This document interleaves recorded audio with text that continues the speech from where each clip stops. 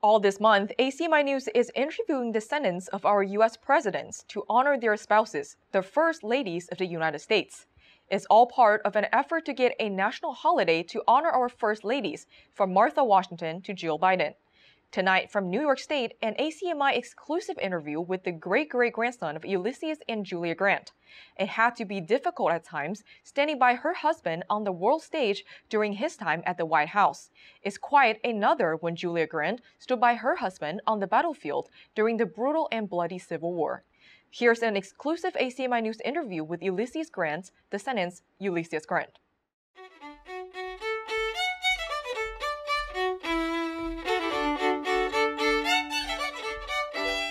You know, it's it's fascinating to me, and there, there's an irony here because I think she was indeed, of all the Civil War generals on either side, she was the one who spent the most time in the field with her husband, often with one or more of the children, because they had four children, and that that sort of sets her aside. She was he needed her with him, so she tried to be with him when she could. Uh, but she was also in a, in a very interesting position because she was able to do this because she had uh, a retinue a retinue of household servants who were in fact enslaved and belonged to her father. So U.S. Grant, the man who was fighting to end slavery, uh, his children were being la- raised by enslaved people that had belonged that belonged to his father-in-law, who he adored, but fought with constantly over this issue.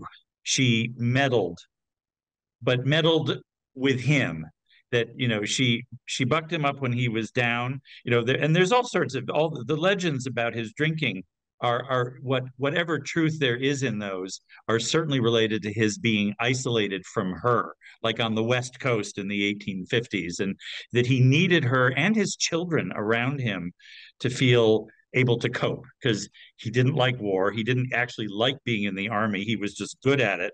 And the the pressures and the the the the grimness of the Civil War really weighed on him. And her presence, and I'm thinking there there's a very famous picture of her at City Point toward the end of the war, uh, with both her and their youngest child Jesse uh, outside the cabin at City Point and and I think that was just I, I, think she gave him a serenity, but she was also very smart. And I think she helped him talk through things. I don't think she went so far as to like meddle in his policies or his plans, but she helped him talk through things that he was struggling with that he could talk about at a, at a different level than he could with his generals. Uh, how does it feel to know that Julia uh, Grant uh, gets her moment in the sun now with this National First Ladies Day?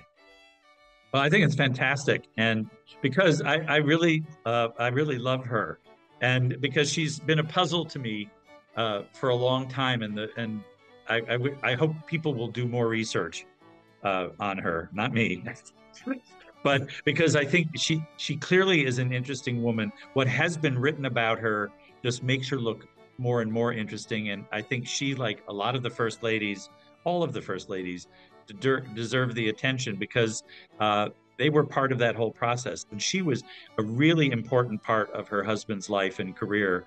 And she should get it should be studied and she should get recognition for it.